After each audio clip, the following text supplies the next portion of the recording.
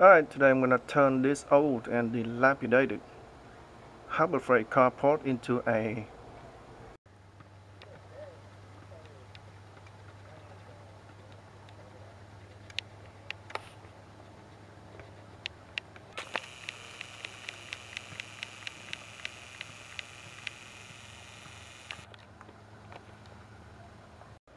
Alright, so this carport here I got for like five, six years ago and I'm even surprised it uh, even lasts that long.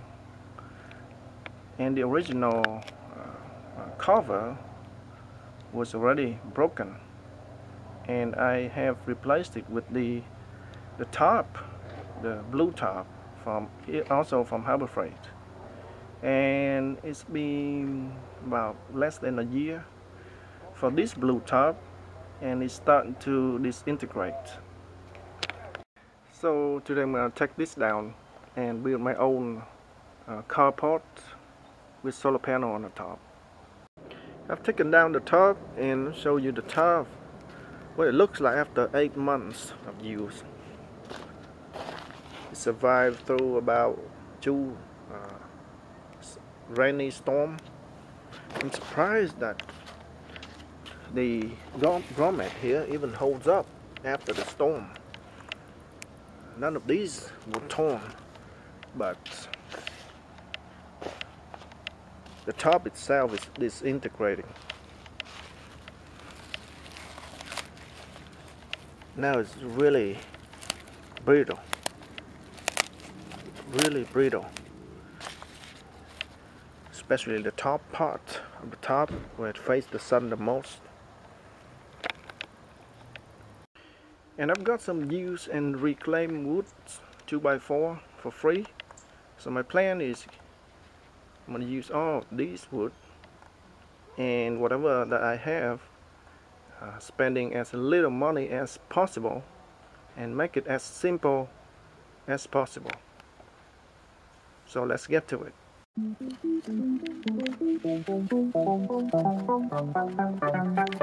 Mm-hmm.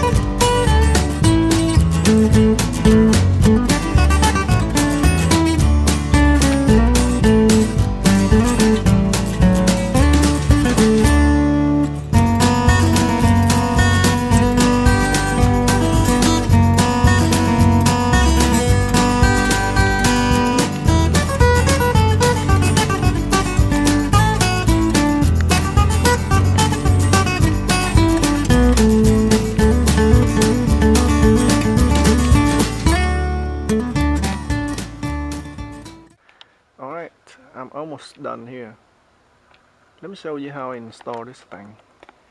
So there's a there's a horizontal bar that goes across to support the panel as you can see here. And what I do is I tighten it up on one end I use a screw to tighten it down on the support beam like so. And I only tighten it on one end the other end I keep it loose. That's because the solar panels got mounting holes on it. You can see here there's a hole right there there's a hole right there. And if you tighten it on tighten the beam on both ends now it's not possible to line up the brackets otherwise you're gonna have to drill holes on the bracket or you have to drill the holes on the panel to match it up. Let me give you a close-up of the holes on the panels and I'll show you what I mean. So here are the holes the mounting holes and if I put my bracket here. You can see the holes don't really line up so I can't put my screw into mount into the hole right? So but because this end on the left here is loose I can move it around like that. See that? So when I move I can adjust accordingly according to the holes on my metal bracket. So I can move it in a little bit like so. Now they match you see? Now the holes match and because this piece of wood usually they're not straight especially used wood they're a little bit bent one way or another. So you're gonna have to bend it anyway. So that way you can make it straight. Same here with this hole on this end. It doesn't really match my bracket but I can see it doesn't really match. So I can't mount it right now. I can move can move the support beam a little bit. Like so now it match you see? Now I can put my screw and mount the bracket into the support beam.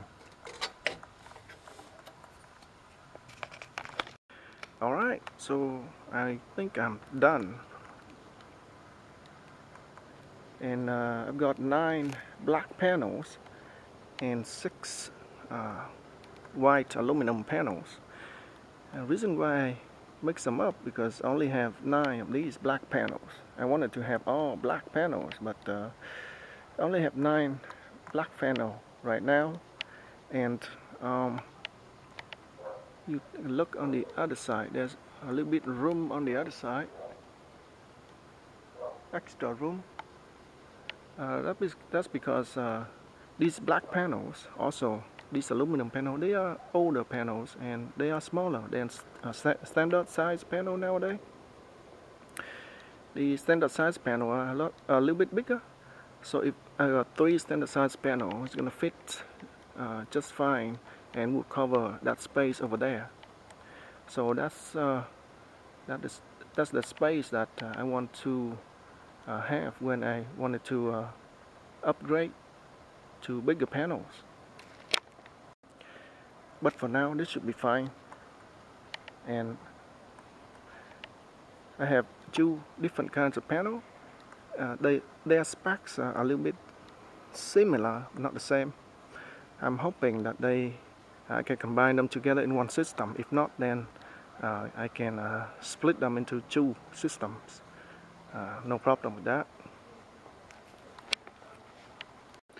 now let me show you my level here a little bit. It's a little bit tilted that way. You see there? So that's the way the water flows. So I want it to flow that way. And also this way.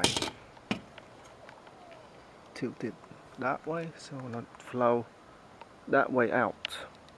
So I have to build this roof. It's flat. I have to build it in a way that it's slanted a little bit for the water to flow. If not then you know it's gonna accumulate and uh, if water doesn't flow good then uh, it's gonna accumulate. It's not good for the roof. Makes it heavy.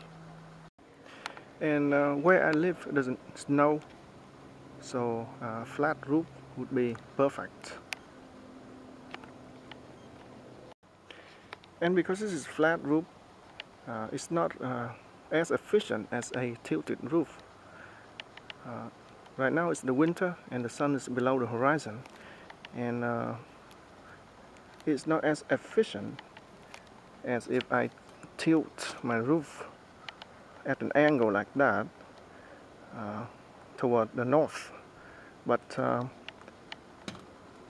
I would think the uh, a tilted roof will be more complicated to build and it's harder for me to install.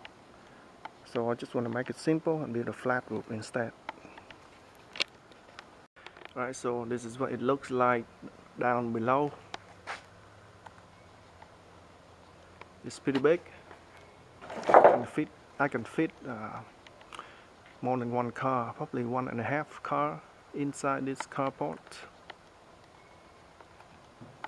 And uh, you see my ladder is still there. I haven't finished the project yet. I just completed putting the panel on the top. You can see here all the wires are hanging around. So um, it's gonna take me a while to uh, wire up everything together and uh, hook it up to my inverter. I can't wait to get it running but uh, that's gonna be another project because uh, this video is gonna it's gonna be long already so. And this system for the uh, black panel have nine black panels. Each panel is 100, um, 220 watts totaling about 2 kilowatt. And I also have six uh, white aluminum panels and they are 185 watts each so times 6 probably around 1 kilowatt. So I have about 3 kilowatt of power on this roof. This project although it looks simple um, it took me roughly around three weeks almost three weeks to build. And because uh, I don't want to spend any extra money on it. I want to build as simple as possible. So I, I use all the uh, scrap woods to, to, to make a support beam. You see the V shape there? And all the woods are, are used and reclaimed wood. You see here? Still got the nail holes on it. They all have nail holes on it so yeah it uh, took me over a little bit more than two weeks uh, to build the system. And um, yeah it's a little bit long because I, uh, I got a day job and I only do this in my free time. And I'm the only one who do this you know bring the panel up and down. And 99% uh, of the time I do it all by myself. Just uh, a couple times uh, somebody helped me but uh, most of the time I do it all by myself so that's why it took so long. Also um, I didn't really spend any money on it. Uh, the wood is free. The paint is free. Let me show you the paint here. Just some used paint I got from somebody who gave it away for free. Uh, a few a few buckets of paints the only real money I spent not really but uh, you know just some money I spent is uh, on these screws I got this whole bucket from a garage sale for like five bucks. With good good quality screws too. If you buy from the store this bucket cost, cost you a lot of money. Around 20 30 bucks. Also this bracket I use a lot of this bracket. And uh, Home Depot or sell it for like five bucks for four of these which is a little bit expensive. I mean I use a lot. So I went to a dollar store and bought this same four pack for one dollar. So that's pretty good deal. It's a good quality bracket too. Thick metal. So all in all all in all I didn't really spend money on this frame. The only real money I spent is on the solar panel and uh, the inverter. So next I'm gonna hook it up to my inverter. It's gonna be my next video because uh, this video is getting real long alright so I will see you in the next video and I'm gonna show you how I connect everything together. Alright folks and uh, I will see you next time. Thanks for watching